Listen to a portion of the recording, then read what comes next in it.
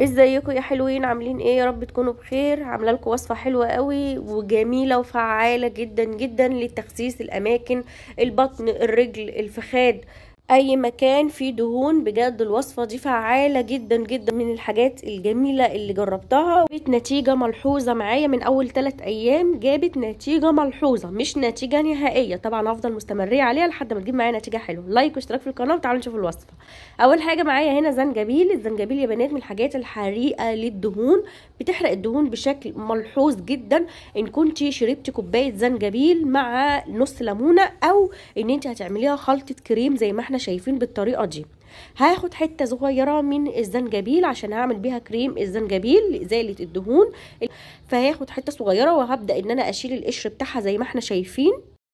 أنا خلاص قشرتها زي ما إحنا شايفين وأهم حاجة إن أنت تقشريها كويس كده خالص زي ما أنت شايفة وابدأي ابشريها طبعا انت ممكن تعملي كمية لو انت حابة بس أنا بحب أعمل كمية يعني الكمية اللي أنا هعملها دي هتكفيني مرتين منطقة البطن فقط. فانت لو هتكتري أو هتعملي مثلا جسمك فيه دهون كتير عند الإيد الرجل كده فانت بتكتري الكمية.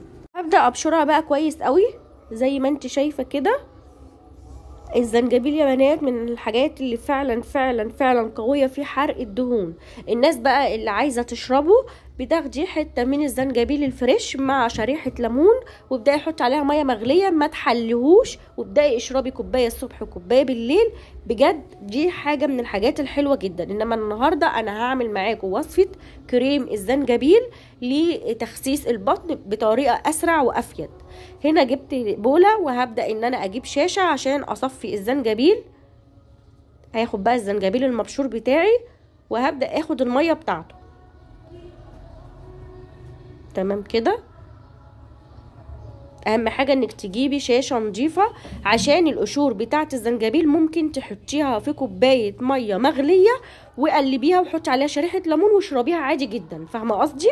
فيعني استفادي بقطعة الزنجبيل كلها ما ترميهاش. ده هيسرع معاكي أكتر في حرق الدهون وكمان آه بجد بجد بيسد الشهية جدا. حلو قوي. هنا هبدأ إن أنا أعصر الزنجبيل. معلش اعذروني أنا تعبانة النهارده فبحاول إن أنا أسجل على قد ما أقدر عشان بجد الناس محتاجة الوصفة دي جدا النهارده.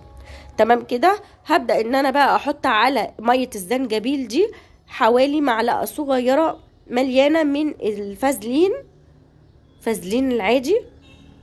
تمام؟ هناخد كده معلقة أهو. ده فازلين سايب عادي من العطار ده تقدري تستخدميه للجسم عادي لكن ما بتستخدموش للبشرة. حطيت معلقة من الفازلين وهبدأ إن أنا أجيب معايا بولة فيها مية سخنة. وهبدأ أحط الطبق ده لحد ما الفازلين يسيح معايا تماما. أدي بولة أهي هحط فيها مية سخنة بتغلي. وهبدأ أرفع الطبق اللي فيه الزنجبيل والفازلين لحد ما الفازلين يدوب معايا تماما ويبقى الكريم معايا كده كريم سايل. تمام كده؟ افضلي قلبي لحد ما الفازلين يسيح. أنا مش عايزة يبقى فيه أثر من الفازلين خالص. هو كده بيبتدي يسيح معايا زي ما انت شايفة ودايما بقلب علشان تفك معايا خالص. خلاص كده؟ هنا ساحت معايا. بصوا تماما الفازلين مع مية الزنجبيل زي ما إحنا شايفين اهو. هبدأ بقى إن أنا أشيل المية دي خالص وهجيب أي بولة وهبدأ أضيف الكريم بتاعي ده. دي كده أول وصفة وسهلة جدا وبسيطة بطريقة رهيبة. شايفين؟ هسيبها بقى لحد ما تجمد خالص وتبقى شبه الكريم. تمام كده؟ بصوا هي بتبتدي تجمد معايا أهي الفازلين بيبدأ يجمدها لأن أنا عايزاها زي الكريم. وهبدأ آخد حتة كده محترمة كده في إيديا وهبدأ أدهن المكان اللي فيه دهون بالشكل ده. شايفين؟ هبدأ إن أنا كده أحط طبقة فوق طبقة لغاية أما أحس إن بطني أو ايدي أو أي مكان فيه دهون اتملى من الكريم بتاعي اللي أنتوا شايفين ده وهبدأ أجيب معايا استرتش اللي هو بتاع الأكل ده اللي هو الاسترتش بتاع الأكل اللي هو ده وهبدأ إن أنا ألفها على بطني كلها على رجلي على ايدي دي أهم خطوة عشان تعمل درجة سخونة كويسة وتبدأ الدهون تتفتت معاكي بطريقة ملحوظة. فلازم تفضلي لابسة الاسترتش ده على بطنك مش أقل من 3 ساعات. كل ما بتبقي لابساه على الخلطة كل ما هتاخدي منها نتيجة هايلة. عشان كده بقولك في ثلاث أيام بتبان نتيجة. بيبقى فيه ملحوظة إن البطن ابتدت تنزل معاكي أو حصل تعرق كتير عرق كده في بطنك أو في أي مكان فيبدأ ينزل الدهون كلها. الوصفة التانية بقى هبدأ أجيب معايا معلقة من الزنجبيل اللي هو المطحون. اللي هو الناشف المطحون اللي إحنا شايفينه ده هاخد منه معلقة صغيرة. تقدري تعملي الوصفة دي أو الوصفة دي. أنا بالنسبة لي بحب أعمل الاتنين ببدل بيهم. هاخد كده معلقة من زيت الزنجبيل. لو عندك ما عندكيش بتستخدمي زيت زيتون عادي. يعني لو عندك زيت زنجبيل حطي. عندك زيت زيتون حطي. المتاح عندك تقدري تحطي. ممكن تحطي الاتنين مع بعض عادي. أنا بعمل أسهل طريقة عشان تقدري تستخدمي الطريقة بكل سهولة. حطيت معلقتين من زيت الزيتون زي ما انت شايفة كده.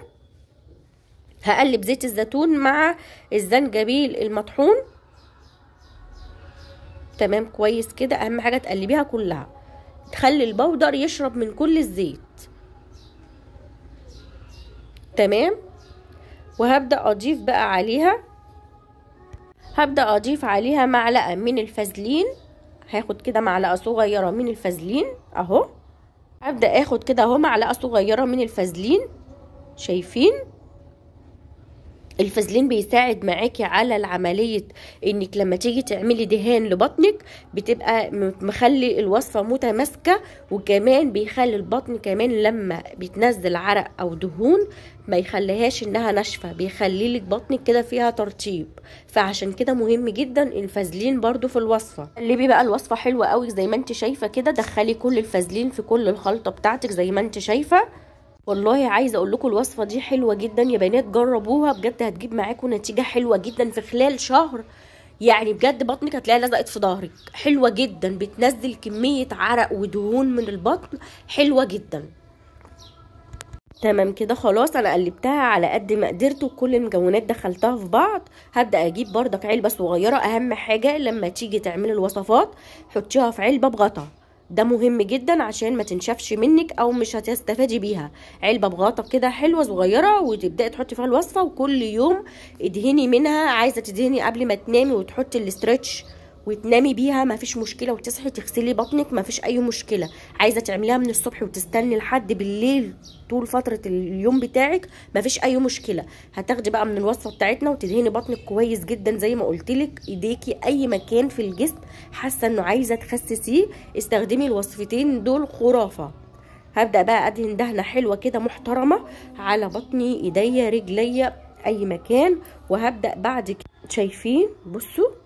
طبقة كده محترمة وبعد كده هلبس كيس استرتش تاني على البطن وده مهم جدا. لازم تحطي استرتش على البطن زي اللي انت شفتيه بتاع الأكل ده اللي هو بتحمي بيه الأكل.